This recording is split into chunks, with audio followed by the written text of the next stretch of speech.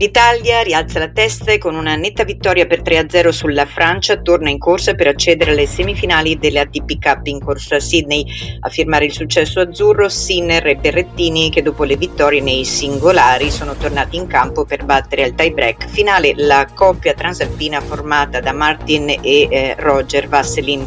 Con questo risultato l'Italia si porta ad una vittoria, ad una sconfitta al pari dell'Australia che in mattinata ha perso contro la Russia. Per passare il turno gli azzurri azzurri dovranno assolutamente battere proprio la formazione di Medvedev nell'ultima giornata.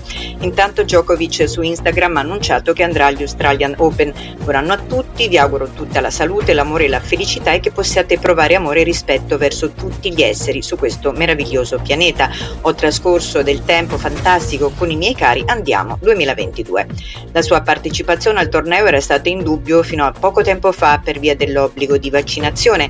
Il campione uscente in pratica ottenuto un'esenzione dalle autorità australiane che richiedono la certificazione vaccinale per entrare nel paese e dall'organizzazione del torneo che prevede che i partecipanti debbano essere vaccinati, mentre Djokovic ha sempre rifiutato di rivelare se sia vaccinato o no.